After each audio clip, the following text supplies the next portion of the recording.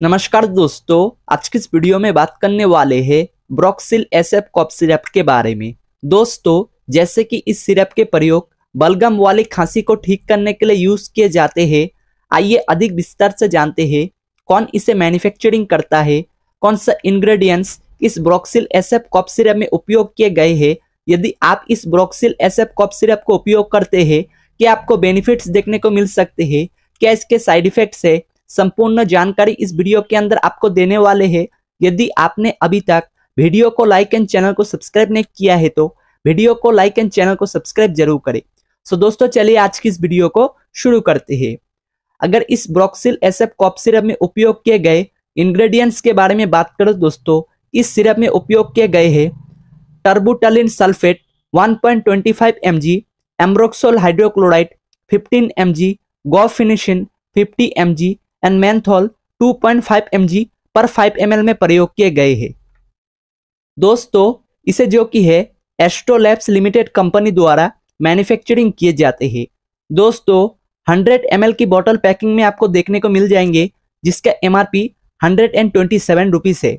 और फ्रेंड्स इस सिरप के एम आर पी समय के साथ कम ज़्यादा होते रहते हैं। दोस्तों, ये शुगर फ्री है। इसे जो कि है डायबिटीज़ के पेशेंट भी उपयोग कर पाएँगे। आइए जान लेते हैं कौन कौन सा कंडीशनों में इस कॉप सिरप के प्रयोग किए जाते हैं।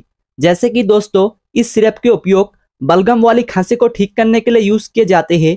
इसके अलावा भी खांसी के साथ सांस लेने में दिक्कत होना सीओपीडी एस्थेमा गले में इरिटेशन होना, खांसी के साथ चेस्ट में पेन होना एंड दोस्तों मेनली इस कॉप सिरप के प्रयोग बलगम वाली खांसी को ठीक करने के लिए यूज़ किए जाते हैं। अगर इसके डोसेज के बारे में बात करें दोस्तों एक एडल्ट व्यक्ति सुबह 10 एम तथा शाम 10 एम दिन में दो बार ले पाएँगे। और दोस्तों इस कप सिरप को आप खाना खाने के बाद यूज़ करें।